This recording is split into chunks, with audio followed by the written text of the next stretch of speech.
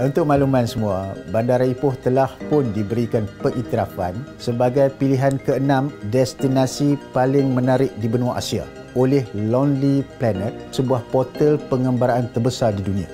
Dan antara kriteria yang dipertimbangkan sebagai pengiktirafan tersebut adalah kewujudan kafe-kafe hipster yang banyak. Ini kerana Ipoh masih mempunyai jumlah bangunan sebelum perang yang kedua terbanyak di Malaysia selepas Bandaraya Georgetown di Pulau Pinang.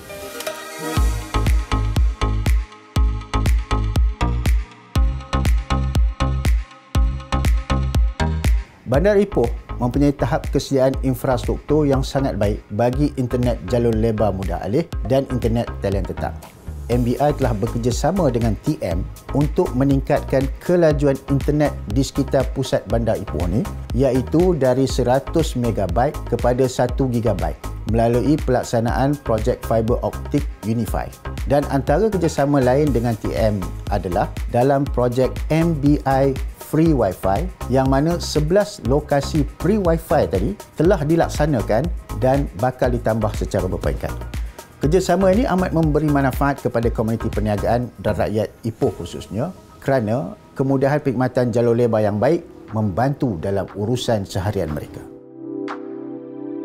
Kami juga komited untuk mempersiapsiagakan infrastruktur selaras dengan perkembangan transformasi digital dan teknologi yang akan mempengaruhi kecekapan dalam pengurusan bandar khususnya. Perancangan Pelantandakan Ipoh Bandaraya Pintar 2030 direncanakan bagi menangani cabaran perbandaran dan meletakkan Bandara Ipoh setaraf dengan bandar pintar global ataupun Global Smart Cities. Kita semua tahu TM1 merupakan agensi utama yang meneraju asas pembentukan infrastruktur digital negara. Menerusi kerjasama strategik ini, ia amat membantu MBI untuk menguruskan bandar dengan lebih cekap dan teratur. Sebagai contoh, program Smart Traffic Light di Jalan Sultan Idris yang dalam tempoh percubaan amat membantu melancarkan 51% aliran trafik terutamanya pada waktu puncak. Selain itu, kadar pengeluaran karbon di Jalan Sultan Idris Shah telah dapat dikurangkan sebanyak 7,500 kg dalam sebulan selaras dengan hasrat untuk menjadikan bandaraya Ipoh ini ke arah bandaraya rendah karbon menjelang tahun 2030.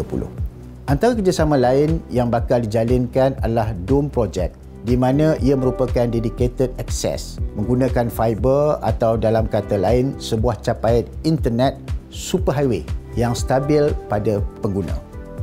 Harapan saya, MBI bersama TM1 akan sama-sama dapat meneroka lebih banyak peluang serta teknologi pintar untuk kerajaan warga bandar Raya Ipoh.